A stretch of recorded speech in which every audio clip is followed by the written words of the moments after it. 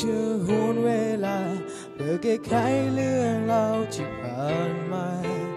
เรื่องราวที่มันค้างคาจะได้ทำเพื่อวันนี้บ่เสียใจ หากได้แก้ไขมาวันนั้น เจ้าคงบ่จากไป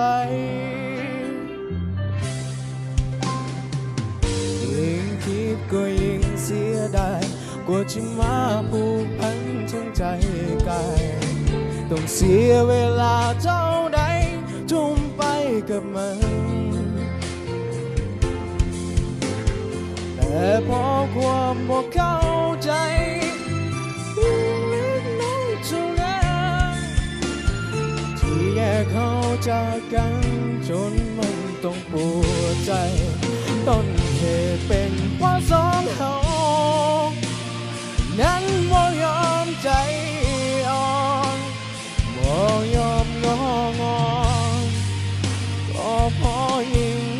กดิ์ศรีต่างคนต่างเอาแต่ใจ ต่างคิดว่าตัวเองชื่อ